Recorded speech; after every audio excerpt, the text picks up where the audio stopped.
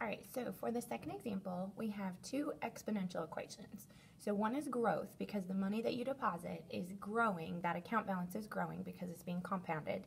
And then the boat value is decaying because it's not as worth as worth as much as it was new.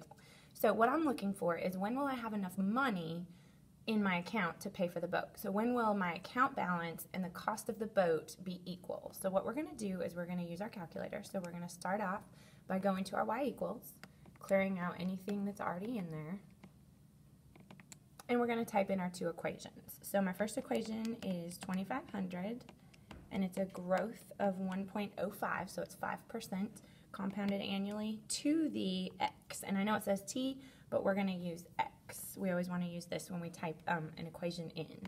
And then my second equation is the value of the boat. So it starts out new. Its initial value is 8,000 and then it's decaying because it's less than one at a rate per year. So I want to zoom fit. I want to see where these two fit on my graph. So I'm going to hit zoom zero, which is zoom fit, and it's going to graph, hopefully.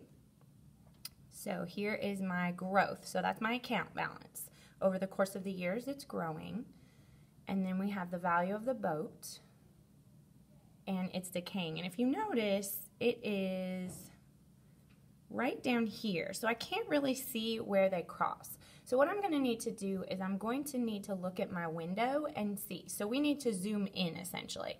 So let's go to our window. So it's starting out here and all of this is taking place in the first quadrant. So let's keep that in mind. So I'm going to go to the window and my minimum. So if it's in the first quadrant, let's go ahead and start at zero and we clearly don't need to go all the way up to 70. That was too far. So let's just say 20. I'm just, whoops, 0 and 20.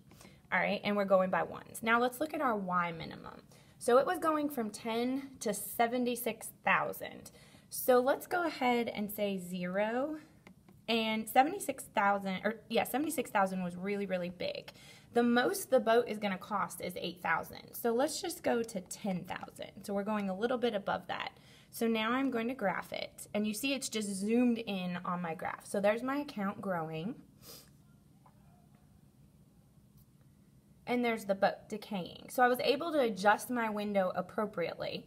And so now I'm going to second calc and I want to find their intersection.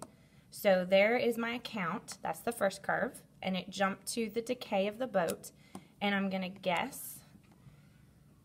So after 8.12 years, my account balance will be $3,716.81, and after 8.12 years, the decay of the boat will be $3,700 roughly. So the question is, how long will it take me? How, when will I have enough money? After eight years.